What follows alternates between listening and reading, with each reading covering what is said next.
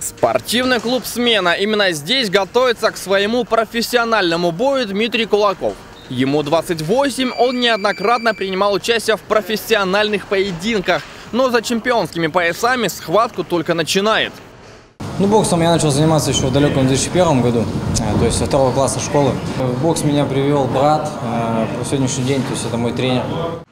Подготовка к бою за Кубок главы Барнаула началась еще пару месяцев назад в Горном Алтае. Первый сбор у меня проходил на, в Горном Алтае на Семинском перевале. То есть мы жили высота 1770, а тренировались, поднимались на высоту 2300.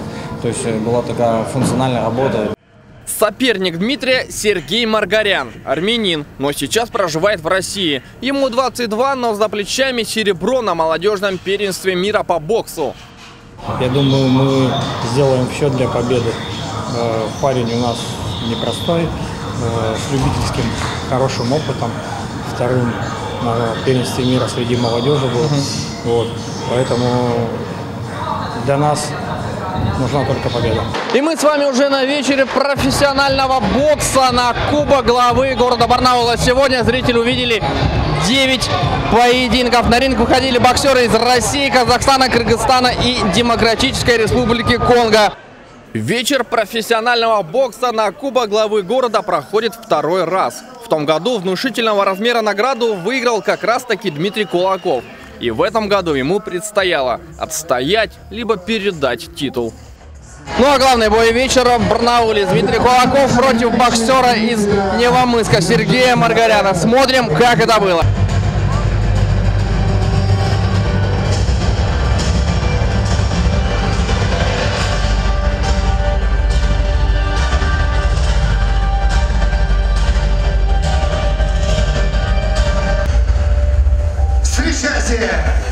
Из Невиномыска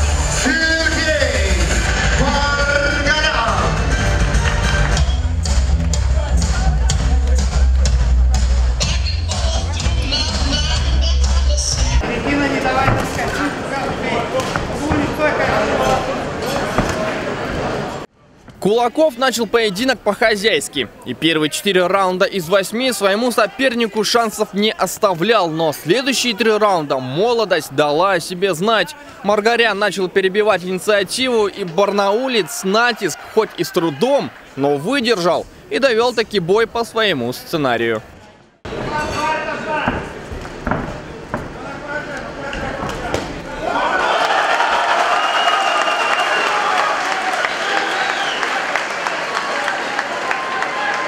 Единогласным решением судейской коллегии победу одержал спортсмен Красного угла.